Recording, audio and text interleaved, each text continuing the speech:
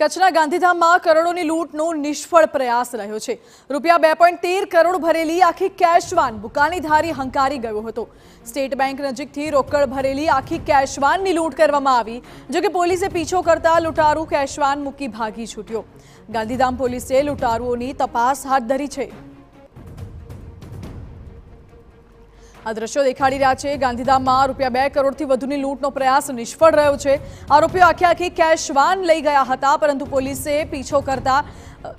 આરોપી વાનમુખી ને ફરાર થઈ ગયો છે પોલીસ હાલ તો તપાસ શરૂ કરી છે આરોપી કોણ છે ક્યાંનો છે તે દિશામાં